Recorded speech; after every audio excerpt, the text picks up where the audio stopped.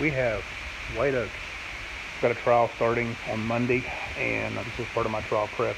What I will do is I will chop a little bit, and then I will practice my opening, then I'll chop a little bit, then I'll read through the testimony and the other things I need to do in order to get ready for trial. So all day at the barn.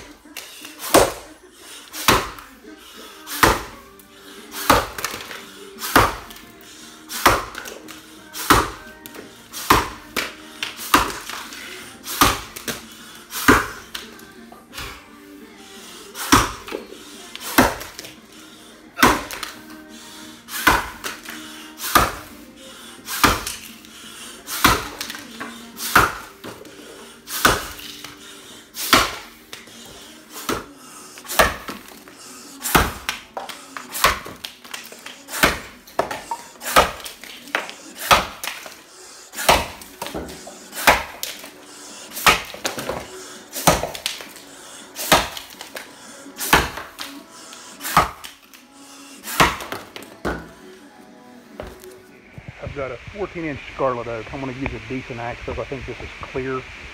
Uh, I'll stop if it's not. And I'm going to try and cut the whole damn thing. This on it might only live one.